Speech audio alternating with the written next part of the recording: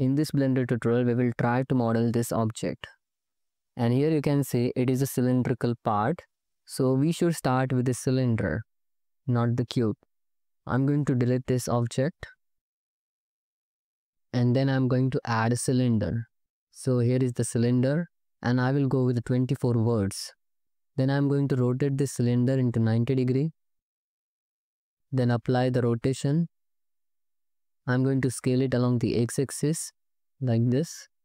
Apply the scale. Then go to the edit mode. Turn on the X-ray mode. Select these faces and use the inset operation like this. And then right click bridge faces in this way. Then you need to select these faces. You can see. Don't select these faces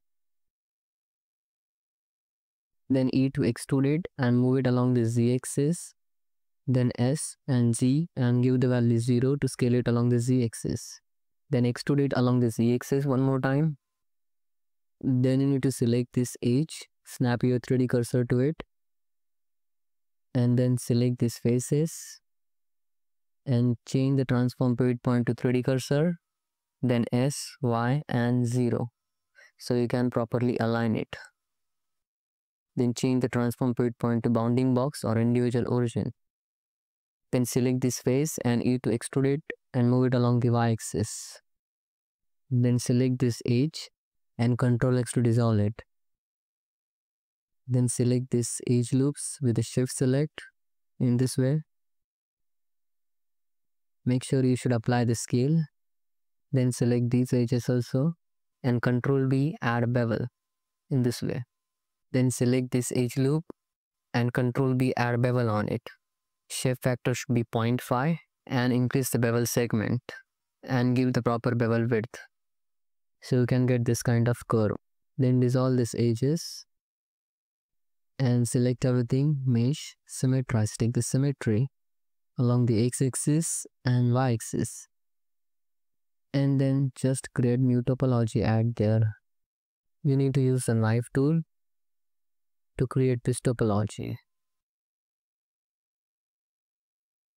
Then use the knife tool and create cut at here in this way and add one loop cut here like this. You can add one loop cut at here and then you can select these verts and merge them at the center in this way. And then you can dissolve these edges.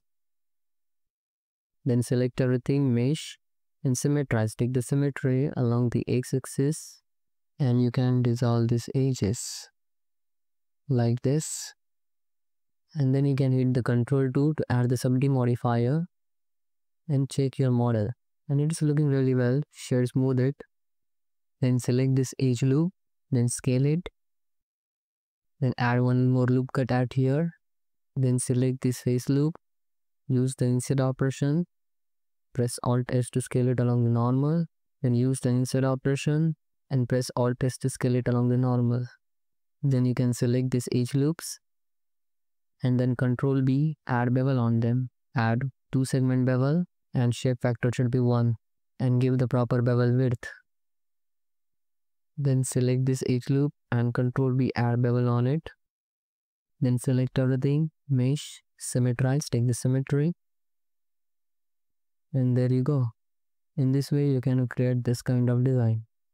You can see here I'll keep the bevel width more so I'm getting smooth form.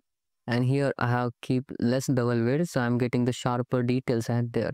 So it's totally up to you. And in this way with the help of cylinder you can create this kind of design. So that's it for today. Thanks for watching. If you like this tutorial then hit that like button and subscribe to youtube channel. Bye bye see you next video. Take care